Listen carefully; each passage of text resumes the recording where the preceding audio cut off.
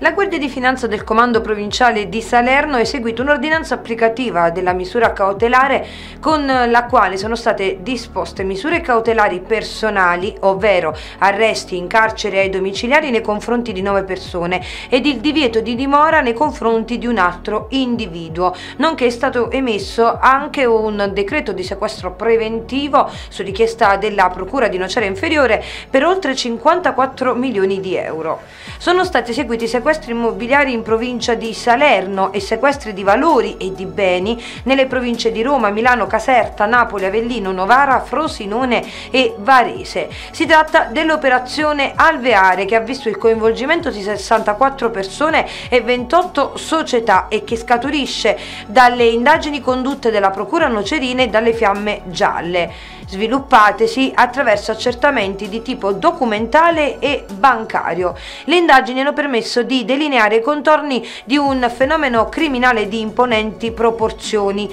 basato su una complessa organizzazione costituita da più soggetti e dotata di una base logistica con ramificazioni in Italia e all'estero.